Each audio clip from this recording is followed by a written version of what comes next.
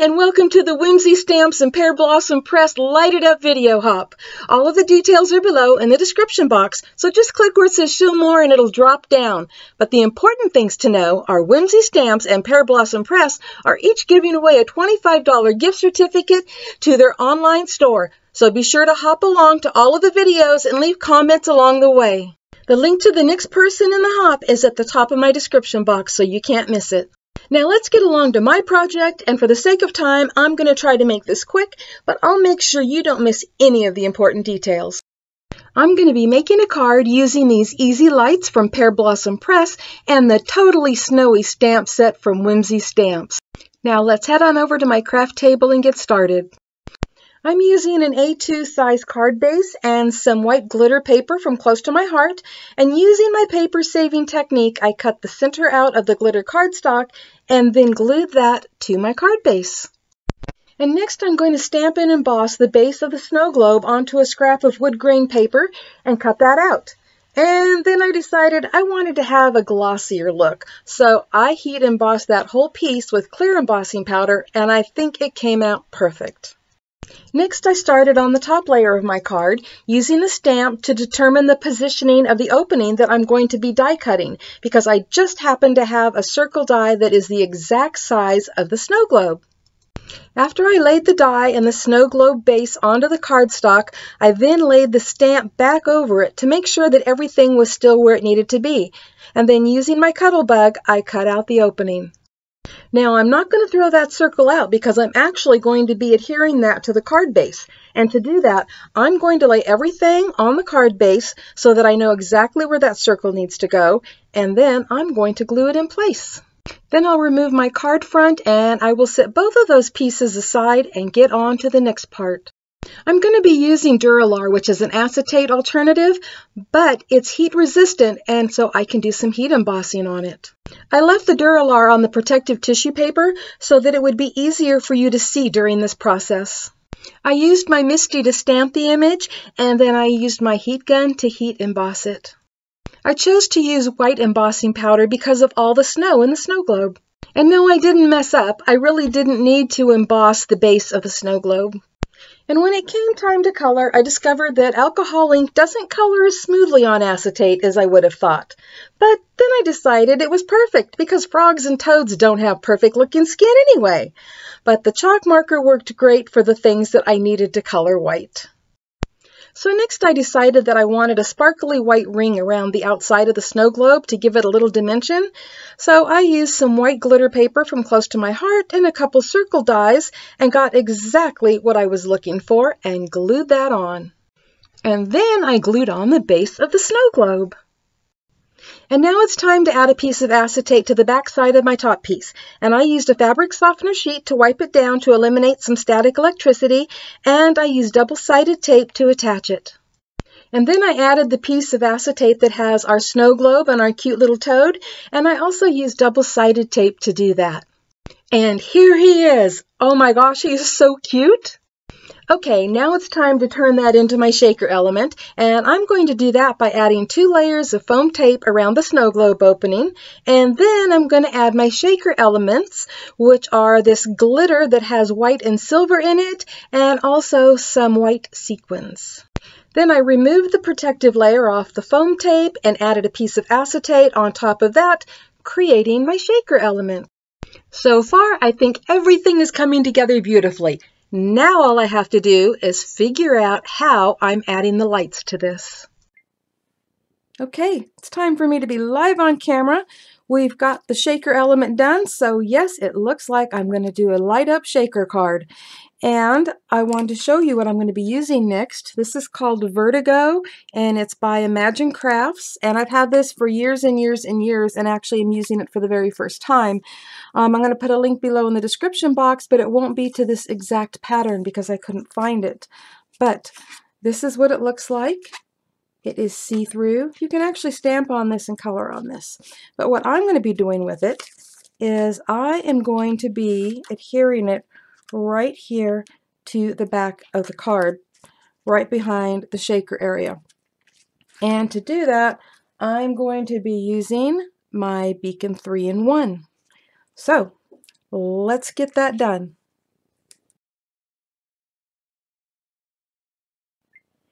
Okay, now I have that on there. Doesn't that look really cool even from the back? Okay, so if you're wondering why I put that on there, it's because I really wanted it to have more of a water look. And I don't know if you can see that on camera, but it does. It just looks like water swirling around in there. And so now the next thing to do is to add the lights and the little battery pack. And to do that, the first thing you need to decide is where you're going to want this little push button at. And I know that I want mine right over here. So I'm going to be adhering this down right there. And I'm going to use some double-sided tape. Let me grab it here. Just a little piece of this. I'm using half inch just because I think it's the right size. So let me just put this across the back. There we go. I got it on there. That double-sided tape was giving me fits. Okay, so now I'm going to take the battery and I'm going to slide it right in that little opening for it just so you can see the lights light up. So what I need to do now is I need to figure out where I'm going to put each of these lights and I'm going to tape them into place and then I am just gently going to curl up the um, excess wire and tape it down. Now, it may take me a few minutes to go through and just kind of decide where I want to put it, but when I do, I will show it to you. Okay, so I decided where I wanted to put them, and I used double-sided tape to hold them down, and I'm also using double-sided tape to hold the wires in place out of sight so that they're not visible through the shaker or, you know, out the front of the card. And I've already taped this one down and I've also taped another one down up here in the corner. As you can see, I just gently curled it. And I saved the last one to show you how easy this is to do. So again, I'm going to use a piece of double-sided tape and I'm going to start over here and kind of get this out of the way right here and put a piece of tape right there to hold that down. And then I'm just going to bring this over to right there and use some double-sided tape there. So let me grab a piece, probably grabbing 10 times more than I need, but better to have too much than too little. So I'm just going to tape this right across there. And I can trim off that little excess that just went over the edge or actually even just roll it back. And I think I'll put another, you know, actually I'm not going to put another little, yes I am. I'm basically, I'm going to be putting some of the double-sided foam tape there as well. So I really probably don't need as much as I'm using. But we'll go ahead and do that. Okay, so now I'm going to peel off all of this. And then I'm going to add some double-sided foam tape just right across here so it's kind of even with the battery pack and it'll be just as thick as the foam tape that was used for the shaker so it'll actually be two layers. So I'm going to go do that and I'll be right back. Okay, I have all the backing taken off the double-sided tape and I've got two layers of foam tape right here and I'm going to peel off that protective layer as well. And then we're going to be attaching it to the card base. And to do that, I'm actually going to use my Beacon 3-in-1 because I want to make sure that I have some wiggle room and also because there is a little texture to that. Um, you can actually hear it. Hold on. Yeah, there's a little texture to that um, that last thing I put on there. The, um, yep, Vertigo. Couldn't even remember the name of it. So I just want to make sure that it adheres really well. So I'm even going to put a little across the foam tape, a little bit right here across the battery pack. And then I'm just going to go right around the edges.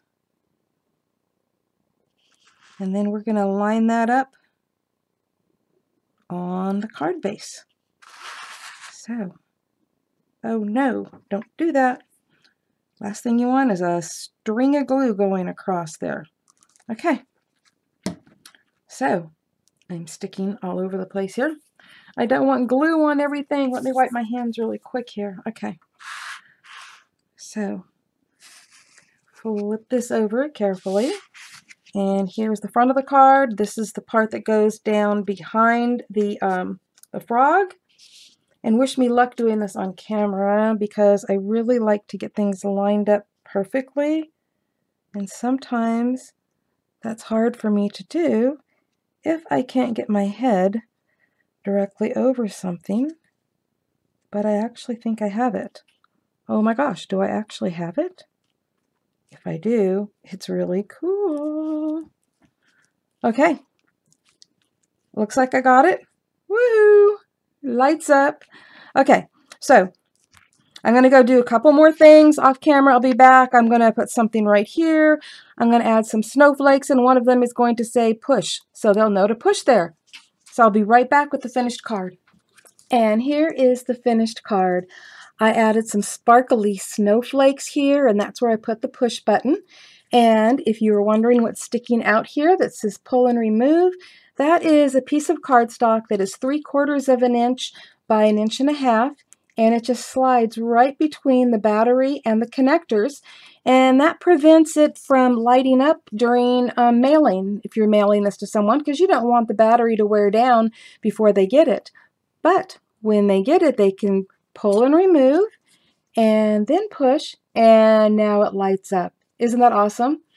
And I also added this label that says All Shook Up, and that's also from the stamp set that I used today, which is Toadally Snow from Whimsy Stamps. And I thought that was absolutely perfect because look at him. He is all shook up, especially if you're shaking that snow globe around. So I just love the way this turned out. And I'm really happy that I got to share this with all of you. And I want to say thank you to my husband because he encouraged me and told me that he knew I could find a way to make this a light up card and a shaker card. Thanks for hopping along with us today, and don't forget that all the information you're going to need is below in the description box. Just click where it says show more. And also, don't forget to leave me a comment because I love hearing from you. And if you're watching this after the hop is over, thank you so much for stopping by, and happy crafting, everyone. Bye-bye.